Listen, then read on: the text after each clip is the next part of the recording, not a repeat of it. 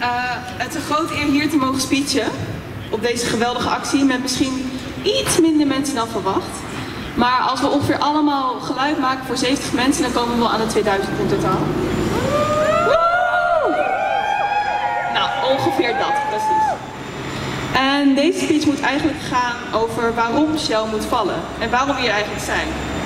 Maar om alle leugens, misdaden en moorden op te noemen, hebben we waarschijnlijk meer tijd nodig dan Shell überhaupt bestaat. Want die lijst aan schulden is oneindig. Bijna net zo oneindig als de berg rotzooi, verwoesting en woede die Shell overal waar het komt achterlaat.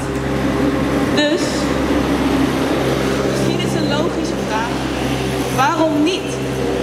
Waarom zou een bedrijf dat al 60 jaar liegt over mensonterende misdaden en invloed op klimaatcrisis niet moeten vallen?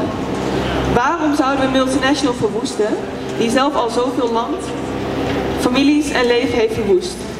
Waarom zouden we Shell, de evil itself, in leven laten? Nou, ik heb heel lang nagedacht en hier heel veel tijd aan besteed, maar ik kon geen reden bedenken. Ik kon geen enkele reden bedenken waarom Shell nu nog zou bestaan, want die reden bestaat niet. Alleen mensen als Marjan van Loon en Ben van Beurden kunnen uit een dikke olieduim nog wat verzinsels zuigen. Maar die hebben dan ook een enorm talent voor liegen en een gebrek aan geweten. En wij hebben die eigenschappen niet. Wij hebben wel een geweten en ook weten wij. Wij weten welke ravage deze koninklijke Nederlandse duivelmaatschappij op zijn naam heeft staan. Wij weten dat hun enige belang geld is, ongeacht hoeveel bloed daaraan kleeft. Wij weten dat Shell geen enkel bestaansrecht heeft en dat nooit heeft gehad.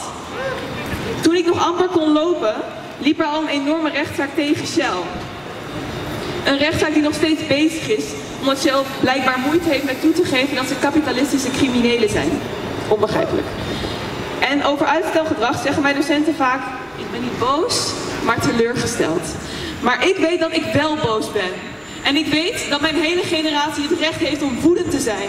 Omdat onze toekomst gewoon zonder pardon wordt vergiftigd. Shell is een parasiet die springt op alles wat vruchtbaar is en niet doorgaat tot het helemaal is kaalgevreten. Door deze vieze bladluis is mijn zwemdiploma straks meer waard dan mijn schooldiploma. En dat is belachelijk. Maar ik weet ook dat wij dit niet laten gebeuren. Ik weet dat we sterk zijn en sterker worden. Ik weet dat we de kracht hebben hen neer te halen. Of we nou met 3, 30 of 3000 mensen zijn. En Shell weet dat ook. Shell voelt nu dat ze niet onschendbaar zijn. En Shell weet dat het een strijd is. Niet per se nu tegen het virus, maar een strijd die al veel langer duurt. Een strijd met ons. En iedereen weet wie die strijd gaat winnen. Spoiler, wij. Dit bedrijf is al meer dan vier keer zo oud als ik. En elke dag dat ze nog bestaan, is er één te veel. En gezien Shelltje nooit genoeg doorgaat met zijn kaalslag, is er nog maar één oplossing over. Shell must